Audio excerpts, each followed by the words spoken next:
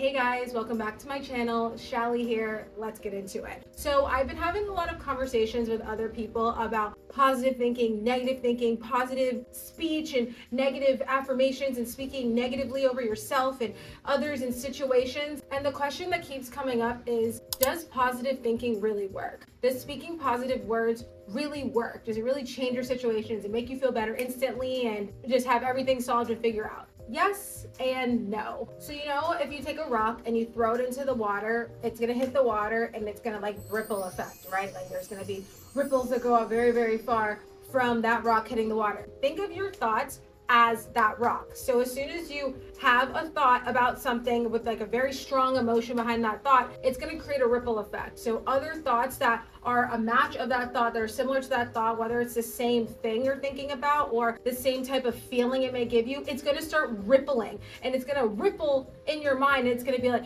this thought, then this thought, then this thought. It's just going to keep like unfolding like that. Have you ever had a day where you started and you might have like stubbed your toe and then like your purse or something got hooked on the door handle right after, and then you spilled your coffee and then this and then as that's going on, you're like, oh, this keeps happening. Shit keeps getting worse. Why does it keep happening? And you keep like feeding into that. It's almost it's like it's creating a ripple and more and more and more and more are happening. It's not that necessarily if you're like, okay, everything's good, nothing bad's gonna happen to me anymore, and it just like stops it. That's not necessarily what happens, but what does happen is when you start to think positively, it like it stops this negative ripple like train that was heading this way. It puts it to a halt and then it like course corrects. And then you start, okay, you have like a positive thought and then you have a more positive thought and a more positive thought and then that starts gaining momentum as this is weakening. So your positive thought momentum, your positive thought ripple starts going. And I know in life, really crappy things can happen, and there's anger and frustration and sadness and all of those negative emotions that we don't like feeling that are, but they're a part of our human experience happen.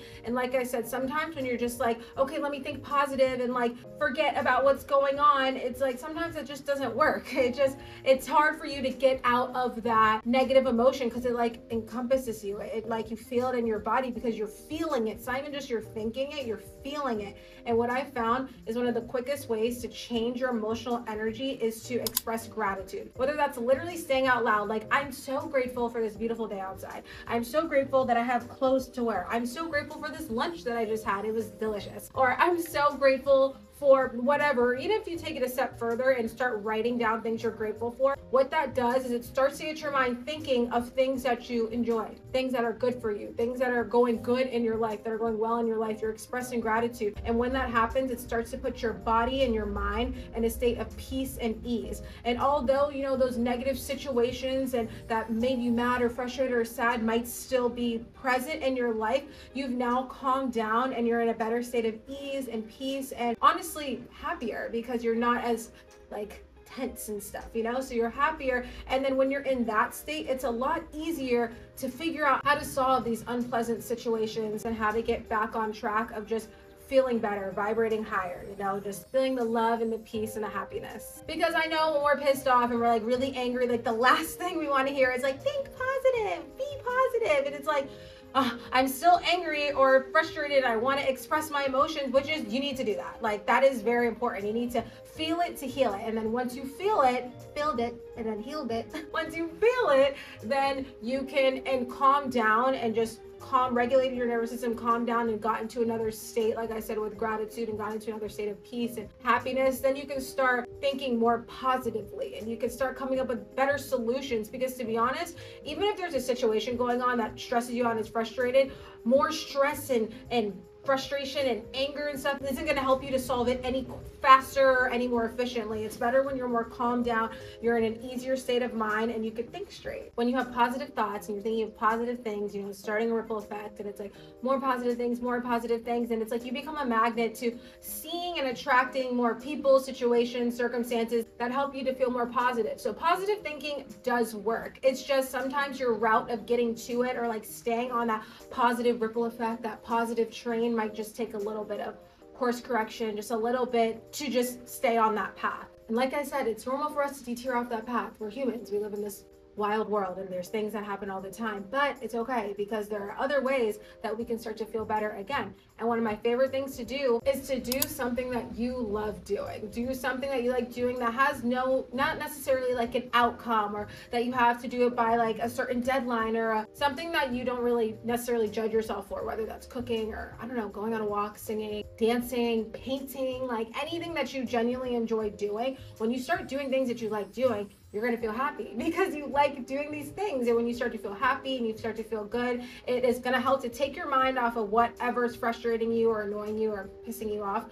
And then it's going to help you to start feeling happier and thinking happier thoughts and you're getting excited because you're creating or you're you're hanging out with people you love or you're just listening to music that you love and you're it's getting you happy and it's getting you that happy emotion and positive vibration and then your the ripple effect is going to start and then you're going to start thinking more positive thoughts and having a more positive mindset and attracting more positive things to you. So even though we can get into negative thought spirals and like negative loops, there are ways to turn that around. And it's honestly a lot easier than you think. And the more that you do this, the more that you start expressing gratitude, the more that you catch yourself when you're feeling negative or you're thinking negative or you're talking shit or you're gossiping or you're doing any of these things, the more you're self-aware and catch yourself doing this and course correct, the easier it'll be for you to just naturally course correct. Like you won't have to like go down this negative thought spiral for you to like pull yourself out of it. You'll just be like, okay, like I see where that's going. Let me just like head in this direction instead. I do that a lot when I'm talking to some of my friends and family. Like, yes, when they're venting to me about stuff, I'll listen to them and validate their emotions because their emotions are valid. But if I see that they're kind of going down a negative thought spiral, I'll let them go, whatever. And then like kind of as the conversation's kind of like dying down, I will literally bring up something completely random that is not even about what we're talking about, but it's something that I know that they enjoy. I'll be like, like my mom, for instance, like really loves houses and interior design and stuff. I'll be like, oh my gosh, did you see what they were doing on that HGTV show? Like that new show so good. And like, I love the way they were building that. She's like, yeah, I did see that. Yeah, yeah, yeah. And then we start talking about that. And it's almost as if like she forgets about like that inconvenience that she just had that she was just so passionately complaining about. And we start talking about things that are more positive. And then she's in a more positive mindset. And then she's in a better state to solve whatever situation she was just dealing with. I've consciously consciously been like monitoring my thoughts and my mindset for years now. So it's pretty automatic for me to just be like, okay, I realize that I'm going in this direction that I want to. Let me let me express gratitude. Let me do something I enjoy. Let me get outside. Let me change locations. Like let me shake off this energy so I can feel better. So when I notice the people around me that and they're like staying stuck in that, it's easier for me to like catch on to it and like help them change. it like I said, the more that you just like course correct and change, the easier it becomes. And then you'll just become more of a positive person. Like